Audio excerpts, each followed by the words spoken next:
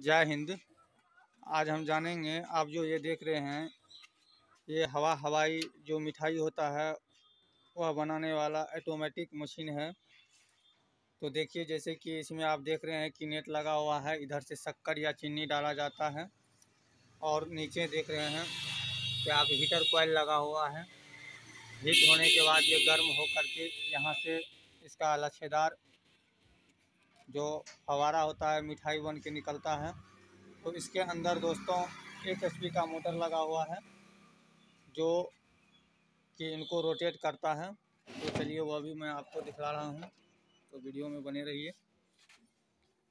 देखिए, इसके नीचे वन एचपी का कंडेंसर लगा हुआ है। यहाँ देख रहे हैं कि आप पंद्रह एमएफडी का कैपेसिटर के साथ है। और देखिए, खास वैसे कुछ रहता नहीं है। एक मोटर रहता है और एक हीटर कोयल रहता है। और देखिए आगे इसका ये जो फ़ंक्शन बना हुआ है, ये रहता है। लेकिन दोस्तों, जैसे ये चलेगा तो ये हिलेगा। हिलता इसलिए है क्योंकि यहाँ से जो है, सो रस पिघल करके फवारा बनाता है, इसलिए यह ज़्यादा जंपिंग लेता है।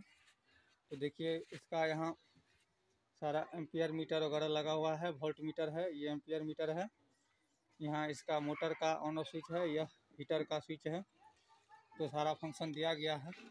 यह ऑटोमेटिक है। इसमें फॉल्ट था क्योंकि यह इसका वायर बार बार जल जाता था। तो फॉल्ट क्या था कि मोटर जाम होने की वजह से ऐसे हो रहा था। अब यह बिल्कुल ठीक है। तो चलिए वीडियो में बने रहिए। इसको चला करके भी दिखाएँगे। और इसका किस तरह से मिठाई बनता है, वह भी दिखलाएँगे। तो देख लीजिए। यहाँ आप देख रहे हैं कि यहाँ यहाँ इसका कार्बन चलता है, इसलिए ये पीतल का दो मैग्नेट बूस लगा हुआ है और यहाँ से ऑपरेट होता है इसका हीटर का काम और बाद बाकी इसका घुमाने का तो मोटर का काम रहता है। तो चलिए इसका आगे का भी प्रोसेस हम दिखलाते हैं जो कैसे कैसे ये चलेगा। तो तब तक हम पैनल वगैरह वो बंद करते हैं। तो वीडियो में बने रहिए, वही प्रोसेस मैं दिखलाऊँगा।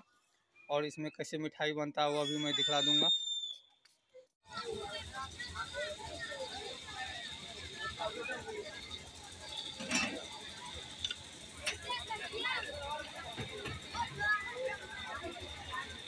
तो देखिए ये हवा हवाई कैसे चल रहा है।